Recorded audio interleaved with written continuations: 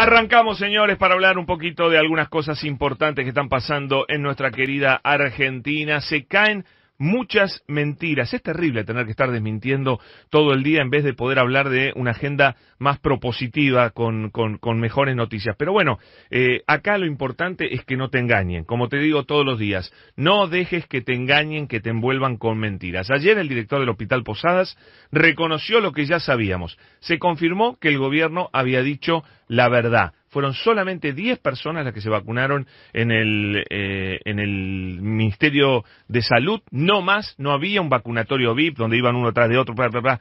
no, eso no pasó. Esa es una mentira que instaló algún canal de televisión y se les cayó ayer. Ya no pueden hablar más de vacunatorio VIP porque no existió ningún tipo de vacunatorio VIP. Hubo vacunas equivocadas sí hubo vacunas equivocadas, no son más de entre 20 y 25, que dependan del Ministerio de Salud. Ayer el, director del Hospital Posadas lo reconoció, la declaración de Maceira vino a confirmar la noticia que había dado el mismo gobierno cuando decidió blanquear a qué personal estratégico se había vacunado o no.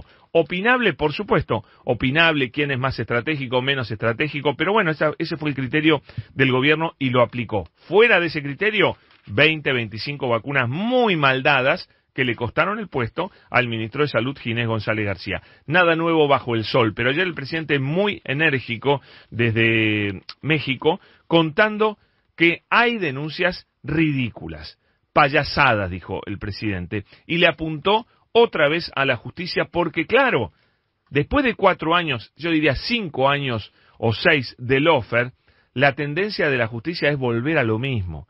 Hay poderes que no se cambian de un día para otro, es una casta privilegiada la de los jueces y los fiscales, entonces la, la tendencia a abrir investigaciones ridículas, que después las tienen que cerrar, después se cierran rápidamente, bueno, es una tendencia muy fuerte que tiene que terminar porque no se puede politizar de esta manera vergonzosa la política argentina, judicializar, digo, la política argentina. Es muy peligroso, trae muy malas consecuencias que ya las vemos todos los días. Y de esto voy a hablar porque hoy justamente hay una definición importante sobre eso. La mentira del diario Clarín la mentira del diario Clarín de, hoy es alevosa.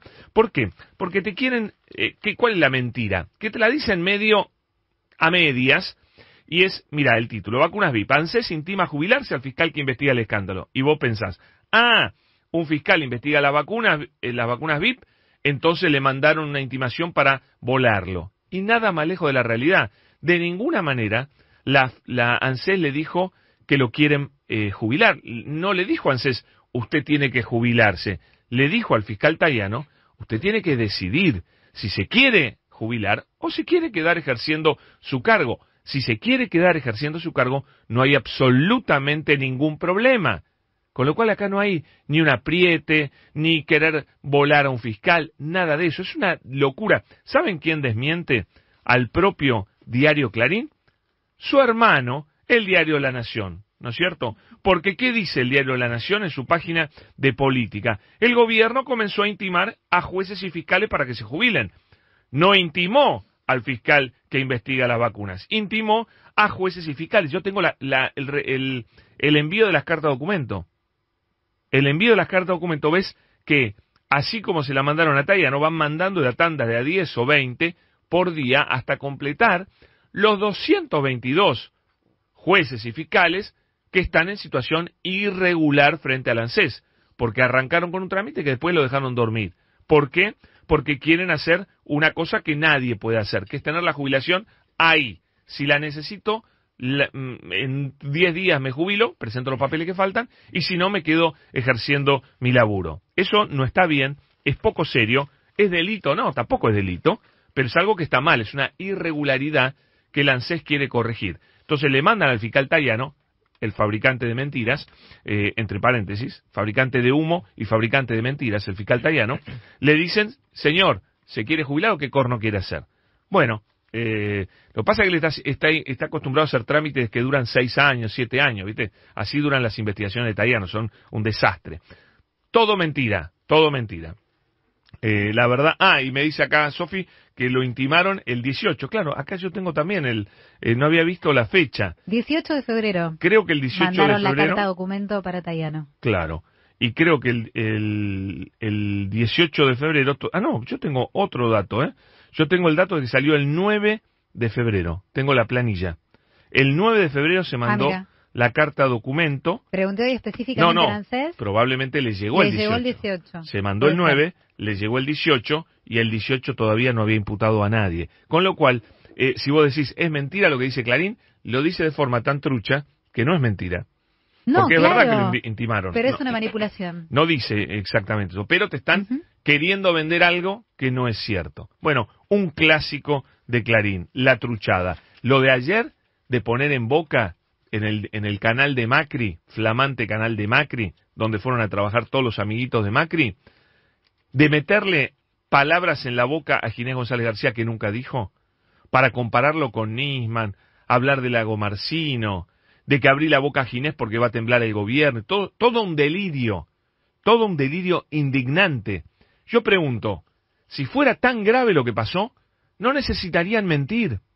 Cuando vos ves que empiezan a fabricar mentiras, te das cuenta que es cierto lo que venimos diciendo acá, y es que el conflicto este no está escalando como ellos quieren. Entonces, como no logran el efecto que quieren con las vacunas VIP y demás, tienen que recurrir a las mentiras. Tienen que recurrir a supuestas amenazas de, de Ginés que nunca existieron, nunca existieron, mentira total.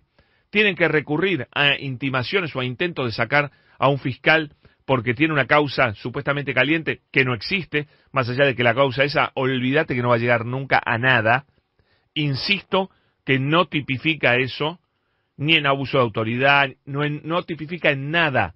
No vas a poder encontrar un delito con respecto a lo que se hizo, que está muy mal, moralmente reprochable, desde el punto de vista administrativo mal armado, todo lo que quieras, pero no vas a encontrar delito, no tengo absolutamente ninguna duda. Si se hace bien, por supuesto, ¿no? Si se hace como se hace la justicia acá, bueno, puede ser cualquier cosa. Pero la verdad, no, ayer lo escuché al chanta. ¿Qué tipo chanta? Daniel Sapsay. Ay, por Dios, qué señor que no tiene vergüenza. Él sigue fomentando el lofer. Dijo que había por lo menos 17 delitos. Claro, en su cabecita loca, cualquier cosa que haga este gobierno es delito, ¿no? Cualquier cosa que haga este gobierno es delito. Es tan ridículo.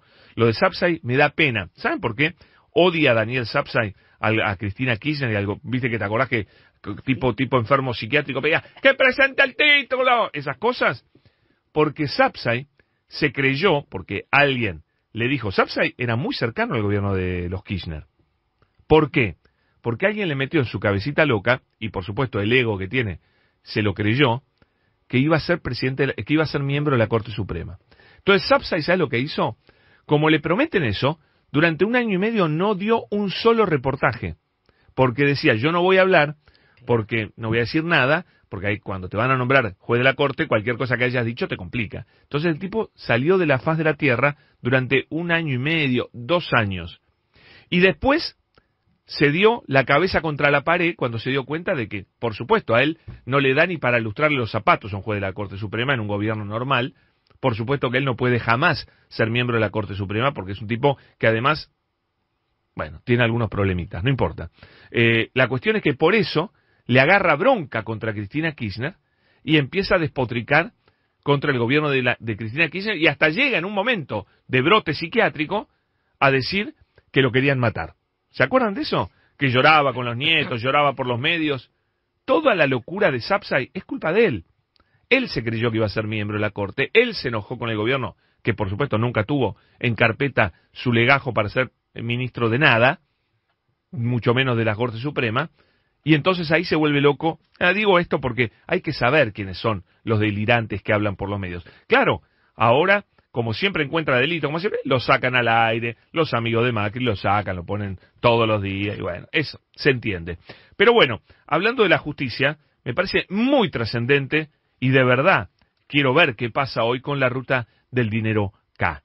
Ahí se investiga lavado de dinero. Vos para investigar lavado de dinero tenés que saber que esa plata es ilegal. Y eso es lo que no se está encontrando y no se va a encontrar porque vos no tenés un delito comprobado y después el lavado. lo de Lázaro Báez debió siempre haber sido tratado como una evasión impositiva, que me parece que es lo que pasó. Les digo más, todo se armó en base a las mentiras de la nata. Cuando se ve en la Rosadita, esta financiera que funcionaba en Puerto Madero, etcétera, donde cuentan plata, todo indica que esa plata venía de una operación inmobiliaria.